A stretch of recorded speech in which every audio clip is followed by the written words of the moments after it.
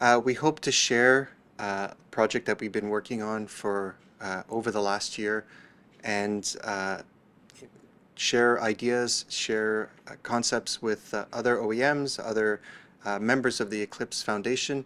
Um, the software-defined vehicle is quite a complex problem to solve, and so we would like to see if we can carve out a part of it and solve that problem by coming up with a solution uh, that we call uProtocol, which allows us to do a um, communication between applications and services for automotive or any use case, uh, in, regardless of the deployment. So I'm hoping to collaborate, to meet with uh, everybody here, and uh, looking forward to uh, a lot of follow-on discussions as well.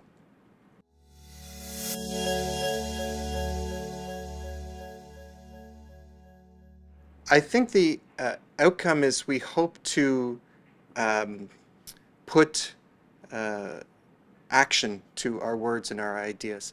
So by delivering code, it allows us to uh, take an idea and actually see if it works. So working really in an agile environment, uh, you want to first ideate, you want to be able to uh, implement something, see if it works. If not, fix it and change and improve. So by doing a code first, we can actually commit uh, our ideas and our concepts and see if they work and you know improve on them uh, continuously through the code. And then if it works and everybody likes it, then we can standardize it and work uh, and expand on it.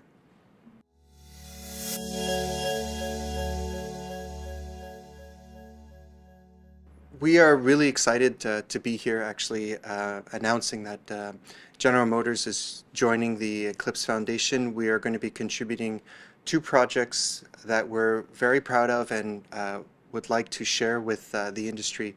It's a project called uh, uProtocol SDK and uProtocol Android.